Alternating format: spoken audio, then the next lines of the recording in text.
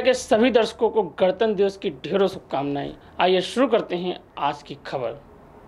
आज देश बहत्तरवां लोकतंत्र दिवस मना रहा है।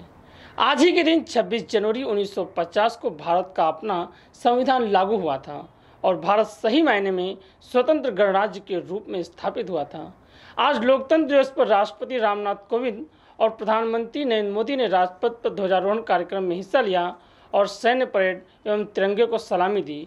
इस दौरान तीनों सेनाओं ने अपने शौर्य का प्रदर्शन किया। यहाँ कई राज्यों की झांकियाँ भी निकली।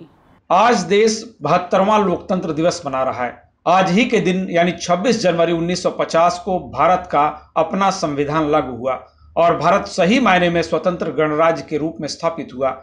आज लोकतंत्र दिवस पर राष्ट्रपति रामनाथ कोविंद और प्रधानमंत्री नरेंद्र मोदी ने दिल्ली के राजपथ पर ध्वजारोहण कार्यक्रम में हिस्सा लिया और सैन्य परेड एवं तिरंगे को सलामी दी। इस दौरान तीनों सेनाओं ने अपने शौर्य का प्रदर्शन किया। यहाँ कई राज्यों की झांकियाँ भी निकाली गई। हालाँकि इस बार कोरोना के कारण गणतंत्र दिवस कार्यक्रम तमाम सावधानियों के बीच मनाया गया।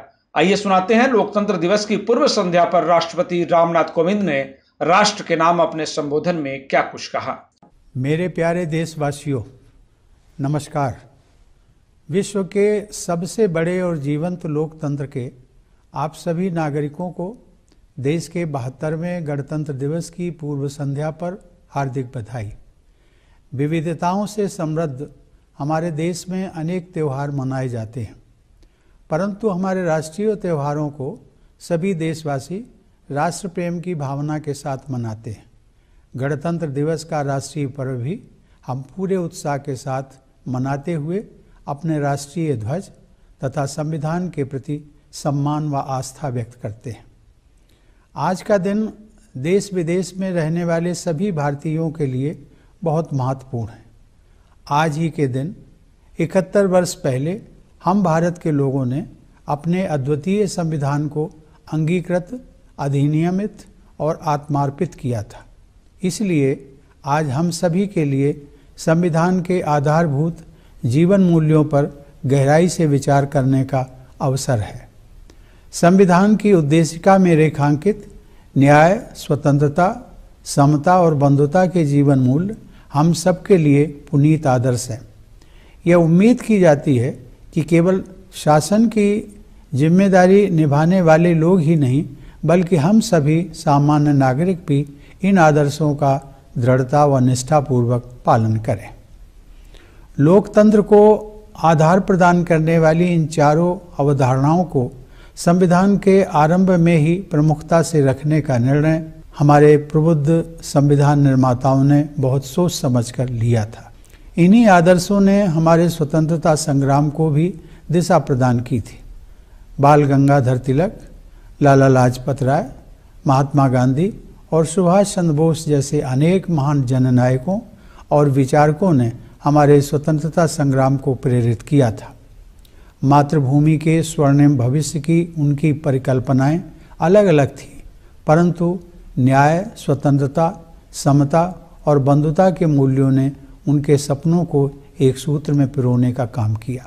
हमारी सेनाओं के बहादुर जवान कठोरतम परिस्थितियों में देश की सीमाओं की सुरक्षा करते रहे हैं। मैं देशवासियों से आग्रह करता हूँ कि आप सब दिशा निर्देशों के अनुरूप अपने स्वास्थ्य के हित में इस वैक्सीन रूपी संजीवनी का लाभ अवश्य उठाएँ और इसे ज़रूर लगवाएँ। आपका स्वास्थ्य ही आपकी उन्नति के रास्ते खोलता है। आज भारत को सही अर्थों में फार्मेसी ऑफ़ द वर्ल्ड कहा जा रहा है, क्योंकि हम अनेक देशों के लोगों की पीड़ा को कम करने और महामारी पर काबू पाने के लिए दवाएँ तथा स्वास्थ्य सेवा के अन्य उपकरण विश्व के कोने कोने में उपलब्ध कराते रहे। हैं हमारे सशस्त्र बलों अर्धसैनिक बलों और पुलिस के जवान प्रायः अपने परिवारजन से दूर रहते हुए त्यौहार मनाते हैं। उन सभी जवानों को मैं विशेष बधाई देता हूँ। मैं एक बार फिर आप सभी देशवासियों को गणतंत्र दिवस की शुभकामनाएँ देता हूँ। धन्यवाद। जय हिंद। वहीं महाराष्ट्र में मुख्यमंत्री उद्धव ठाकरे ने मंत्रालय में ध्वजारोहण किया और तिरंगे को सलामी दी। यहाँ राज्यपाल भगत सिंह कोश्यारी और तमाम मंत्री एवं उच्च अधिकारी भी मौजूद थे।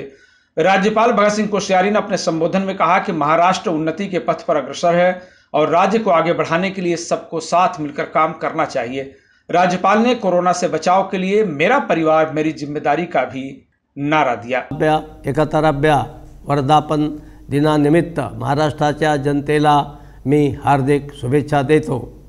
माझ्या मराठीची बोलू कौतके परी अमृताचेही पैजा चिंके असा मराठीचा गौरव करणाऱ्या संत ज्ञानेश्वर माऊलीला बंधन करून मराठीतून बोलतो.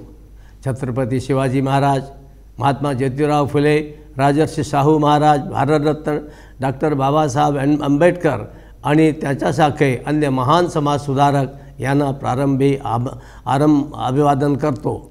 महाराष्ट्राच्या निमित्तीचे हे एकसष्टा वर्ष आहे. एक गेल्या एकसष्ट वर्षात कृषी उद्योग तंत्रज्ञान कला क्रीडा संगीत आरोग्य शिक्षण या सर्व क्षेत्रामध्ये राज्याने उल्लेखीन प्रगती केली आहे. पर्यावरणाचे जतन आणि संवर्धन ही आपल्या सर्वांची सुद्धा जबाबदारी आहे. माझ्या शासनाने राज्यात माझी वसुंधरा अभियान सुरू केले आहे. महाराष्ट्र एक संघ आहे आणि एक संघ राहील. अम, सर्वच घटकातील विचारसंख्या समाज संघटना सोबत सर्वांना विकासाची समान संधी उपलब्ध करून प्रगत पुरोगामी समर्थ आणि बलशाली महाराष्ट्र घडविण्यासाठी माझे शासन काम करीत आहे. देशाच्या राज्यघटनेप्रती आपण सर्वांचे उत्तरदायित्व आहे हे मी अधोरेखित करू इच्छितो. आजच्या प्रजासत्ताक दिनी संविधानाने घालून दिलेले आदर्श व मूल्ये याच्याप्रती असलेली आपली बांधिलकी अधिक दृढ करूया आणि एक बलशाली प्रगतिशील व सर्वसमावेशक असा नवीन महाराष्ट्राच्या निर्मितीसाठी कटिबद्ध होऊया. जय हिंद जय Maharashtra. Bureau report. TV one India. Latest update और खबरों के लिए टीवी वन इंडिया को सब्सक्राइब करें और नोटिफिकेशन पाने के लिए बेल आइकॉन को दबाना मत भूलें।